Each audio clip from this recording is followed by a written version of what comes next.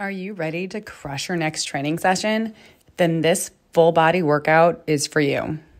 It is five moves, four sets, and you're going to take 60 to 90 second breaks between each set.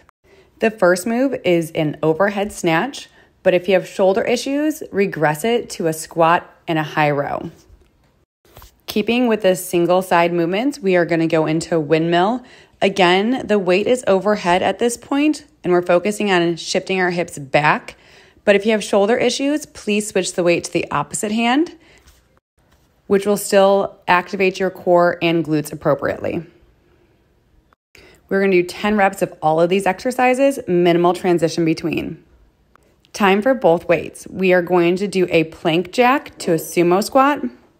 Make sure you get your feet wide and turned out for this movement.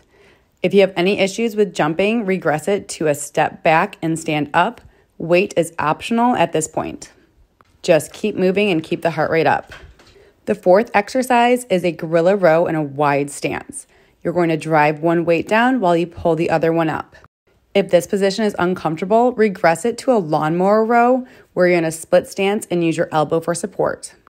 Last exercise is a V up holding a weight or a rowboat.